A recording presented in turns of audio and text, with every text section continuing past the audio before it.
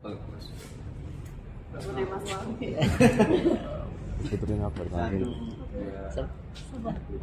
Putri oke. Jadi tahu. Ayo. Ini sini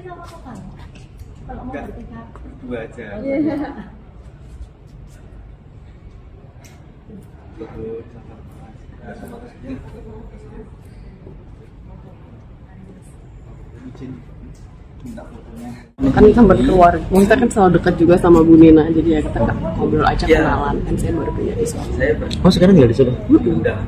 Oh tapi dalamnya dia enggak nih rumahnya. Oh, rumah Bu Nina? Iya. Heeh. Oh, sekarang kan aktif di partai, Mbak.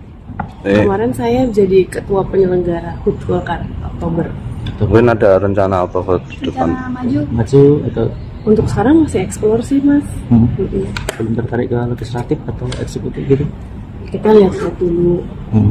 masih di situ sih sekarang posisinya tapi kan kalau sama Golkar ya tidak bisa dipungkiri saya keluar dari rahim ibu saya juga bapak saya om jadi sangat dekat dengan keluarga keluarga besar Golkar Hmm. nantinya ke depannya seperti apa kayaknya saya masih mau belajar dulu.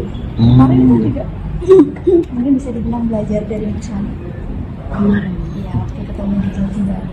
Oh iya ngobrol sama Mas Wali. Kan kebetulan saya lagi di Jakarta kemudian em, ikut bersama rombongan Pak Erlangga selaku Menko untuk membuka Solo Technopark dan em, bisa berkeliling juga mungkin karena saya udah dilihat sama kayak orang Solo karena udah tinggal di sini jadi oh ya udah kita ajak aja Mbak Sekar.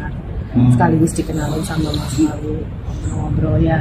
Seneng juga bisa ada wali kotanya muda.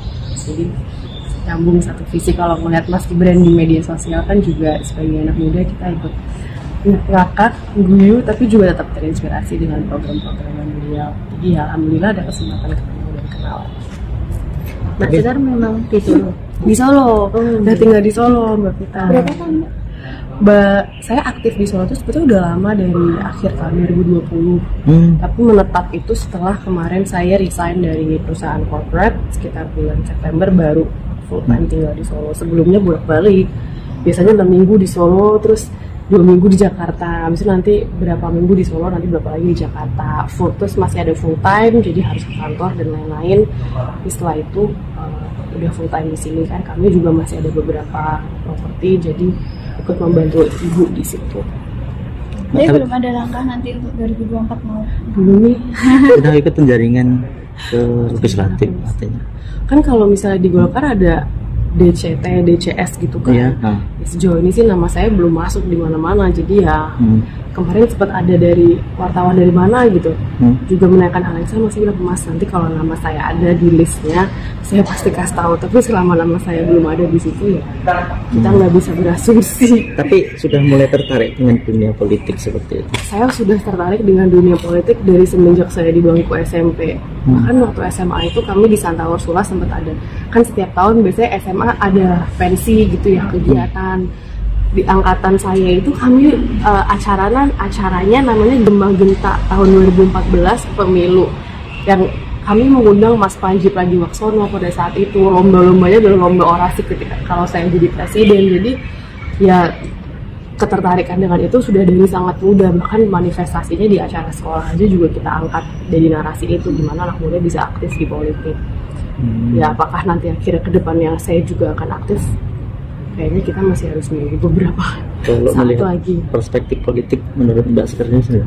Jadi politik gimana mas? Ya artinya dunia politik sekarang dengan Gloria juga politik ingin tidak terjun ke politik gak? Ya, seperti itu. ingin atau enggak kayaknya lebih ke saya harus menguatkan mental dulu ya Hmm. apakah itu betul-betul menjadi passion dan apakah tulus atau enggak kalau Pak Akbar selalu menyampaikan politik itu panggilan jadi ya saya rasa ketik kalau panggilan itu belum kuat sayang sekali kalau kita sudah masuk. Itu menurut saya. Tapi kan orang-orang lain terserah mereka mau seperti apa. Jadi ya itu perlu saya kuatkan dulu sih mas sebelum uh, memutuskan untuk masuk betul